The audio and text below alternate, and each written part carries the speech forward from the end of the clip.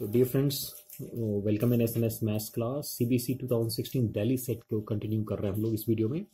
और हमने indefinite integration को चूज़ किया है टू थाउज़ेंड सिक्सटीन के क्वेश्चन पेपर से। Uh, मुझे उम्मीद है कि आप uh, मेरे वीडियोस को देख रहे होंगे। और हमने preparation for board examination class twelfth series में टॉपिक वाइज जो C B S question paper से क्वेश्चन से उनको पिक किया है। और आपको ये बताने की कोशिश की है कि किस ईयर में उस पर्टिकुलर टॉपिक से कितने मार्क्स के क्वेश्चन आए हैं। जैसे अभी हम ये 2016 का क्वेश्चन पेपर ले रहे हैं तो इसमें इंडेफिनेट इंटीग्रेशन के टू क्वेश्चन थे, और ये दोनों question four four marks carry कर रहे थे। यानी आप इंडेफिनेट इंटीग्रेशन अगर आपका वेल प्रिपेयर है तो 2016 के पेपर से एट आउट ऑफ़ एट आप स्कोर कर सकते थे। ओके सो आई कंटिन्यू करते हैं क्वेश्चन को। हमारा question number one integration question है। सिर्फ़ एक बार चेक करेंगे, और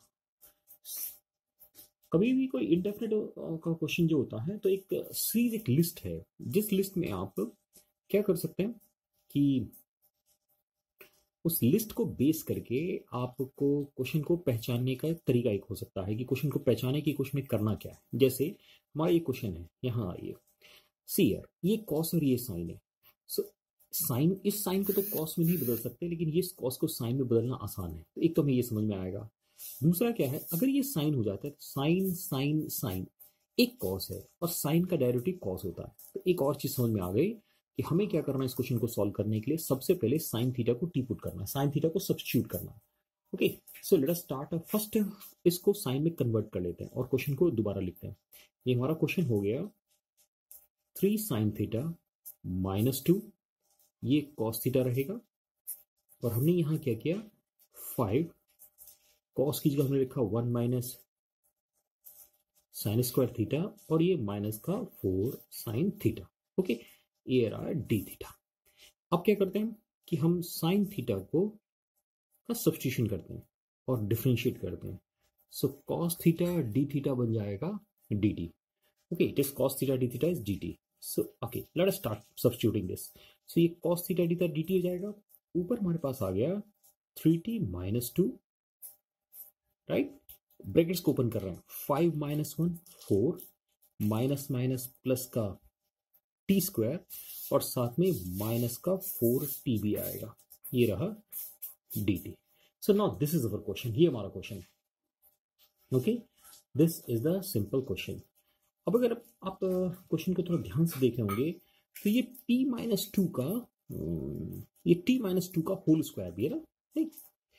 T square minus four T plus four so it can be written as T minus two whole square अब इस क्वेश्चन को फर्दर करने के लिए सॉल्व करने के लिए हमारे पास टू डिफरेंट ऑप्शन सी हम पार्शल फ्रैक्शन में भी क्वेश्चन को लेके जा सकते हैं वन मेथड और हम इस क्वेश्चन को सब्सटीट्यूशन में भी ले जा सकते हैं. अब आप कहेंगे सब्सटीट्यूशन का मतलब क्या है यहाँ पर? सी कभी भी कोई क्वेश्चन यानी जब भी क्वेश्चन हमारा P X plus Q over ax square plus bx plus c dx that means if you have a question like this, अगर कोई भी क्वेश्चन इस तरह का है so the method which I prefer जो मुझे पसंद है, कि आप डिनोमिनेटर को डिफ्रेंशिएट कर लीजिए। So denominator is T square minus four T plus इसको क्या करेंगे? हम इसको डिफ्रेंशिएट करेंगे। चलिए थोड़ी देर के लिए वाई लिख लेते हैं, अगर आपको ठीक लग रहा है। सो so, डिफ्रेंशिएट करने पर आया ये two T minus four okay अब जो हमारा न्यूमरेटर है उसको टू टी माइनस फोर में कैसे कन्वर्ट करेंगे ये देख लीजिए। राइट सो so, क्योंकि टी के साथ टू चाहिए और यहाँ थ्री है तो हमने थ्री को कॉमन कर लिया। Okay okay? सो so, अब ये बन गया T minus two by three ठीक है? हमने क्या किया? टू से डिवाइड और इसको टू से मल्टीप्लाई कर दिया। राइट सी सो सिंपल ना? Here you have t square minus four T plus four अब देखिए, आपको चाहिए तो माइनस का फोर तो क्या करते हैं? माइनस का फोर और प्लस का फोर हम क्वेश्चन में और एक इंट्रोड्यूस कर देते हैं। ओके अब जो आपको ये जो डेरिवेटिव है डेरिवेटिव को क्वेश्चन से अलग कर लीजिए। यानी क्वेश्चन से अलग करने का मतलब है, क्या करते हैं? टू टी माइनस फोर का तो एक क्वेश्चन बना देते हैं। T square minus four T plus four D T okay एक क्वेश्चन बना दिया हमने। और बच क्या गया हमारे पास? अब हमारे पास ये फोर और ये माइनस फोर बाई थ्री बचा हुआ है। सो so, फोर में से फोर बाई थ्री को माइनस करिए। Here I am doing some rough work so three twelve minus eight by three ना?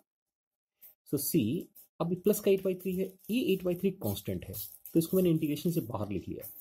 और यहाँ मेरा क्वेश्चन बच गया T square minus four T plus four D T which is actually T minus two का square okay so see so simple ना so whenever you have a question like this कभी भी कोई क्वेश्चन इस form में है P X plus Q over A X square plus B X plus C तो simple तरीका क्या है?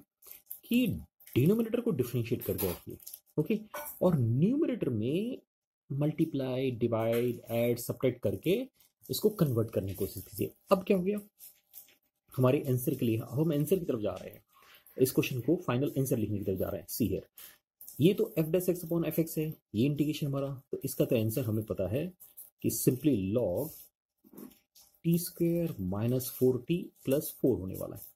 ओके इन, हम लोग प्रिफर करते हैं कि आप मॉड पुट करना। मॉड क्यों पुट करते हैं? क्योंकि लॉग नेगेटिव नंबर का नहीं हो सकता है।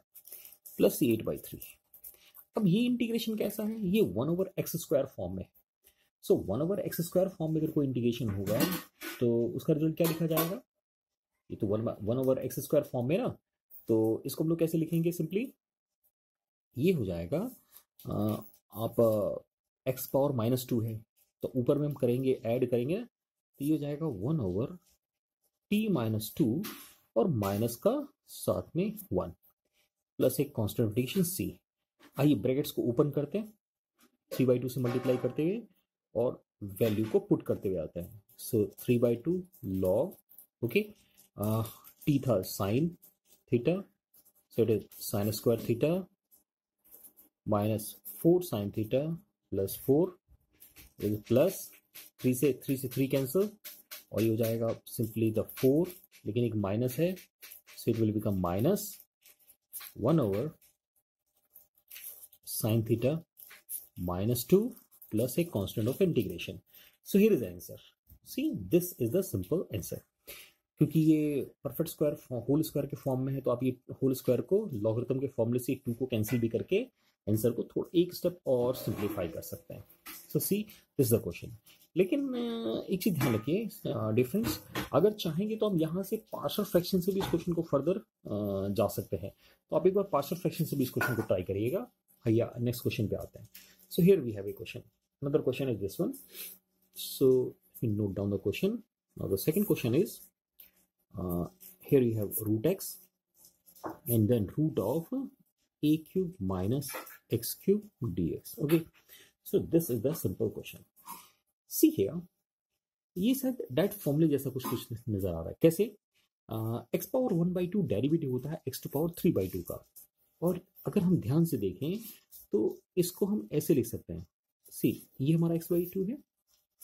ये रहा रूट हमने क्या किया? इस ए क्यूब को लिखा A to power three by two का होल स्क्वायर सिंपली एक्स को भी हमने लिखा X power three by two का whole square and D X okay और साथ में क्या किया? X to power three by two हमने टी पुट कर लिया। सो so, डेरिवेटिव क्या होगा? Three by two X to power one by two D X equal to D T और X to power one by two D X is two by three D T so put कर देते हैं। So two by three here you have dt so, divided by a to power 3 by 2 whole square minus t square okay, so, i think this is a simple formula कौन सा formula है ये? ये sine inverse का formula है ना? सो हम लोग लिखेंगे two by three sine inverse क्या होता है? Sine inverse X upon A ना? So sine inverse X meaning T upon A मतलब A power three by two plus constant integration अब टी की वैल्यू जो आपने टी की जगह पर जो X to power three by two put करना है, उसको पुट कर देते हैं। So we have two by three sine inverse X power three by two और divide by A to power three by two plus एक constant integration C so which is your answer so dear friends ये वो to question हैं जो CBC 2016 Delhi set से लिए गए हैं इंडेफिनेट इंडिकेशन के। So thank you very much for watching this video thank you